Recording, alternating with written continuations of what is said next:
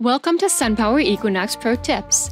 This video demonstrates how to build spacer rigs with the Mod Spacer Pegs by Slick Tools, which enable you to set consistent row-to-row -row spacing between SunPower U-Series modules.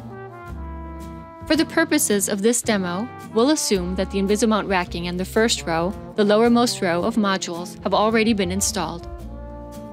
The tools and materials you need are one 10-foot length 3 quarter inch EMT conduit to make two spacer rigs, each roughly the width of a module, pipe cutter or hacksaw, conduit reamer, mod spacer pegs, and EMT end caps for the conduit ends, a tape measure, and something to write with. Your personal protective equipment must consist of cut level 4 gloves and safety glasses. Let's get started. First, measure the width of the module, the short side for portrait installations, and transpose that measurement onto the conduit. Cut your conduit along the mark. Once you have your two pieces of conduit cut to the module width, ream their ends so that they don't create a cut hazard to anyone who handles them.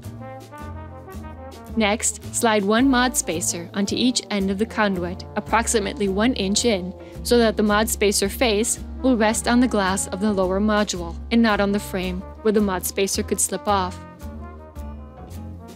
Tighten each mod spacer using the built-in thumb screw. Insert a safety cap into each end of the conduit. Now you can use your new mod spacer rig to consistently enforce the correct spacing between your module rows.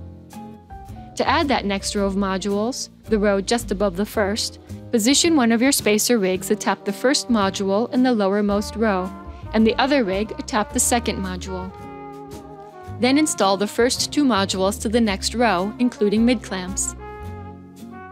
Slide the module toward the spacer rig until the module rests evenly on the two mod spacers, and adjust the module side to side so that it's also firmly up against the two existing mid-clamps. Once installed, remove the first spacer rig and leapfrog it over to the third module in the first row.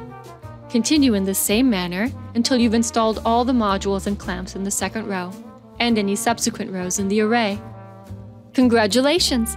You've made yourself handy mod spacer rigs that will ensure that you enforce the correct spacing in your SunPower Equinox arrays every time. Be sure to check out the Slick Tools website listed in the description below. Thanks for watching this SunPower Equinox Pro Tips video. Don't forget to like and subscribe.